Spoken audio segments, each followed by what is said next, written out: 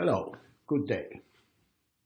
I am André Chwalibog, professor of uh, animal nutrition at uh, the University of Copenhagen, Denmark, and at present also visiting professor at uh, Warsaw University of Life Sciences in Poland.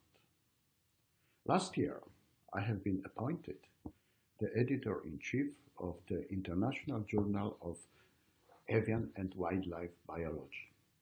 It is an open access journal published by, by Crave Group. The group consists of over 130 journals dealing with different aspects of biology, medicine, nutrition, and many more. The Journal of Avian and Wildlife Biology is a young journal launched in 2016, but already we have published over 80 research articles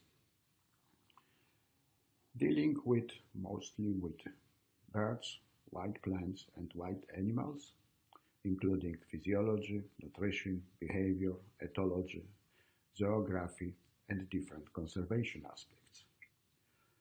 We accept, of course, regular research articles, but also mini reviews, reviews, short communications, letter to editor, and so on. Now I know that there are hundreds of open access biological journals, many sending email invitations to published.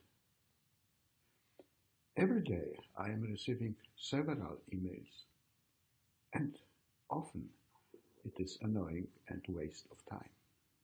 However, the intention of this video is to emphasize that for researchers working with wildlife, the journal can consolidate the scientific community in the subjects which are vital for a broad dissemination of wild plants and animals biology, providing scientific basis for conservation strategies.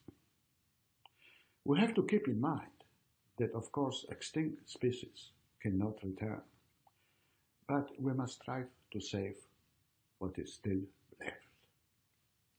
Thank you for your attention and goodbye.